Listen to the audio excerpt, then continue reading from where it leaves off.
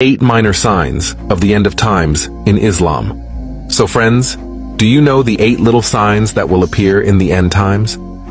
If you don't know these eight signs, so then watch the full video. Sign number one, deserts will be built.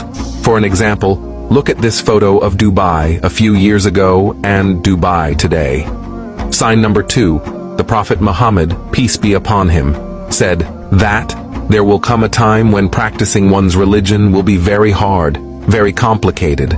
And the Prophet also said, whoever shares my sunnah with others, he will be with me in paradise, so share this video. Sign number three.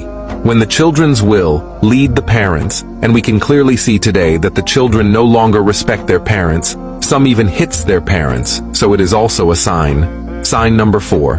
When the government's will go into the hands of dishonest people who will not be worthy, and today with governments around the world, we can see how it is happening. Nothing is going well, so it is also a sign. Sign number five. Women will be well dressed, but while being undressed. Sign number six. Man will obeys his wife and disrespectful to his mother, and he favorites his friend than his father. Sign number seven.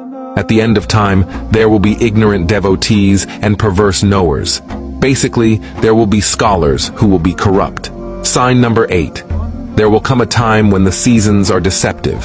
For example, if the weather is nice, there is sun all of a sudden. It will rain, there will be winds, so the seasons will be irregular. I pray to Allah to make easy for us the complications of this world. Say, Amin in the comments.